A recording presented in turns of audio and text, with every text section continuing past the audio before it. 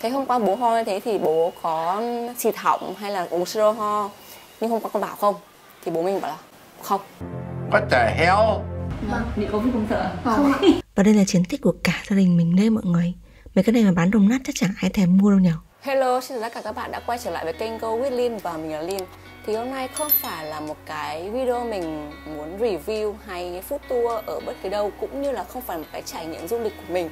Mà hôm nay mình sẽ ngồi đây và chia sẻ một số thứ khi mà mình phát hiện ra việc bố mình bị Covid và cũng như là quá trình điều trị nó như thế nào nhá.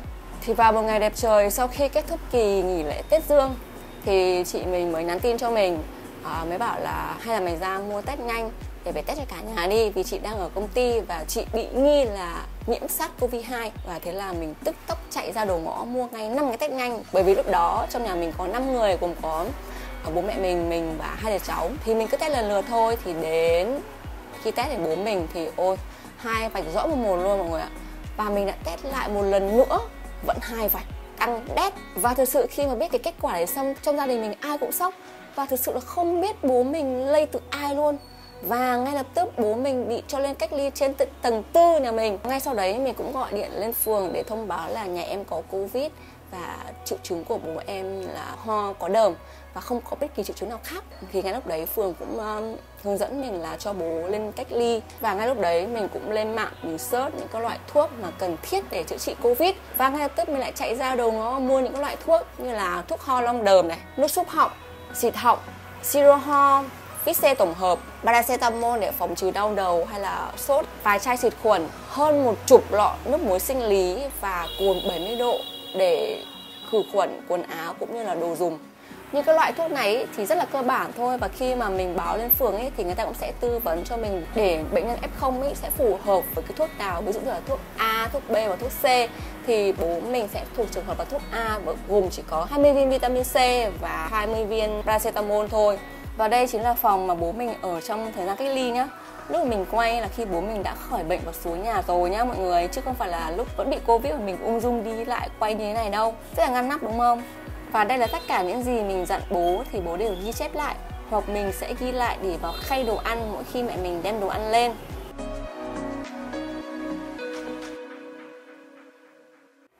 Và các bạn biết không, khi mà trong khoảng thời gian sống cùng F0 ấy thì cái việc kiên quyết và đầu tiên của mình mỗi khi thức dậy mà mỗi khi đi ngủ đó chính là xịt khuẩn và xịt khuẩn. Bởi vì khi mà bố mình có kết quả test ờ, uh, PCR ấy, thì cái nồng độ citizen cái nồng gọi là cái nồng độ virus của trong người bố mình cực kỳ cao. Nó ờ, khoao rơi vào khoảng 19,2 và có độ lây nhiễm rất cao. Thế nên là những người mà trong nhà khi mà sống cùng F0 lúc nào cũng phải xịt khuẩn. Mình với cả mẹ mình cũng không tiếp xúc quá nhiều vì mỗi lần là mang lên đồ ăn lên thì sẽ thường bắt bố đi ra ngoài đóng cửa vào ừ, ở trên tầng tư nhà mình có một cái ban công, thì trước khi lên thì phải gọi điện và bắt bố mình đi ra ngoài ban công đấy, đóng cửa vào, rồi sau đó mang đồ ăn lên. Thì khi mà mẹ mình hoặc là mình xuống nhà rồi thì bắt đầu bố mình mới được vào để lấy đồ ăn. Thì cứ cách 3 ngày thì mình sẽ test cho bố mình một lần và mỗi lần mà mình test ấy thì mình sẽ phải mặc những cái bộ đồ bảo hộ y tế như thế này. Cùng với việc là xịt khuẩn rất là nhiều xung quanh người mình, cũng như là găng tay thì đó, mọi người có thể xem cái quy trình khi là mình lên nhá test cho bố mình như thế nào, thì nó sẽ là như thế này đấy. Mọi người phải cảm tưởng là khi mà mình xịt cồn quá nhiều ấy, đến nỗi mà ôi mình ngửi nhiều, mình còn cảm thấy nhức đầu luôn ấy. Và mình nhớ có một hôm, đỉnh điểm của cái sự tức giận, đó chính là khi mà bố mình bắt đầu phát hiện bị covid thì đã cách ly rồi. Nhưng mà cái hôm đấy, đêm hôm đấy bố mình ho rất là nhiều và khi mà mình nghe tiếng ho mình bất giác mình tỉnh dậy và mình cũng nói với bố mình là, bố ho như thế thì bố xịt họng đi.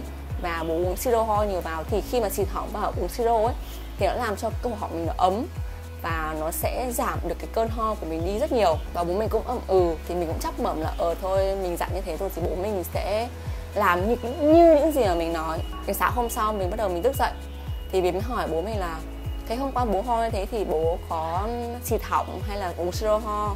Nhưng hôm qua con bảo không. Thì bố mình bảo là không. Không nhá mọi người. Bởi vì họng của bố không đau và rát nên là bố không uống. Cái này là 10 phần bất lực rồi mọi người. Khi mà biết cái sự việc nó nó là mình tức điên ấy, thì mình bắt đầu mình xuống mình nói chuyện với mẹ mình và mình, bên cạnh đấy mình cũng nói chuyện với chị gái mình thì bắt đầu mẹ mình với cả chị gái mình mình gọi điện lên cho bố mình và bảo là thế bây giờ ông có muốn um, cách ly ở nhà không? À, được thoải mái được ừ, thế này thế kia thì ông không muốn là bây giờ ông muốn tôi bế ông đi cách ly ở bệnh viện nhá hay như thế nào? Mà ông không chịu gọi là uh, nghiêm túc để điều trị. Bây giờ ông muốn cái triệu chứng của ông nặng hơn à? Hay như thế nào?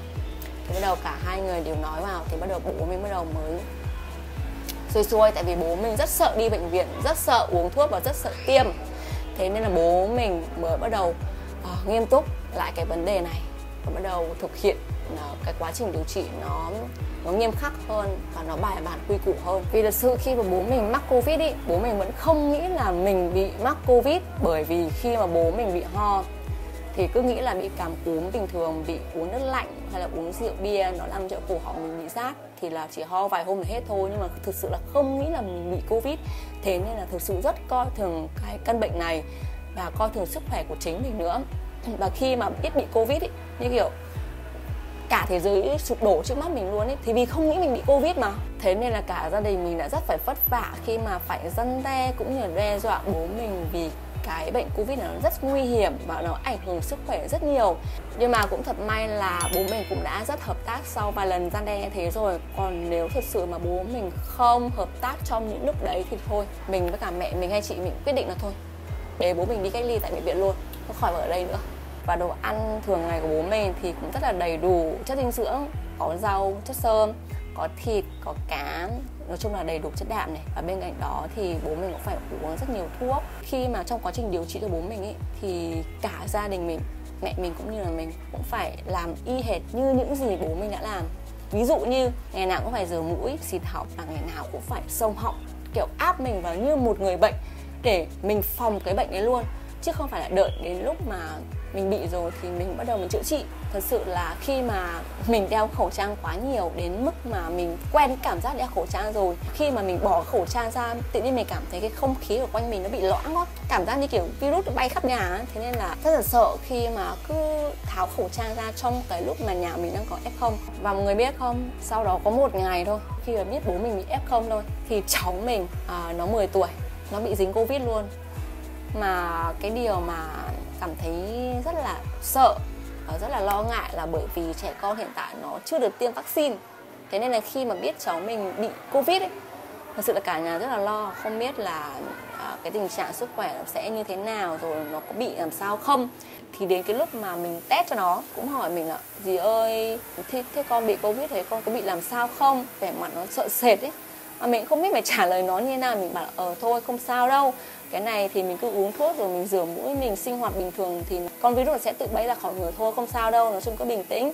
Và mình với mẹ mình thực sự là rất là sợ khi mà có người nhà bị covid ý. thế nên là cứ trong người cảm thấy bất ổn hay là kiểu ví dụ là chỉ hơi sụt xì một chút thôi, hơi ho khan một chút thôi thì tự động test nhanh luôn để xem là có ổn hay không hay là mình có vấn đề gì thì để chữa trị kịp thời luôn. Thì sau 14 ngày thì bố mình đã hoàn toàn khỏi covid rồi cũng đã ra phường để test lại một lần nữa và kết quả cho ra là âm tính cũng như là nhận cái giấy khỏi bệnh covid. À và hai đứa cháu mình cũng đã khỏi bệnh rồi và hôm đấy thì mình có gặp bọn nó mình mới có phỏng vấn một đoạn nhỏ nhỏ như thế này. Sao ơi? Chị béo ơi! Lên đây! Tờ phỏng vấn tí cảm nhận hai đứa lúc mà biết bị covid nào chán. Sao chán? Chán nào rất chán. Hả? Rất chán. Con ngạc nhiên. Không nghĩ mình bị covid gì. Ừ.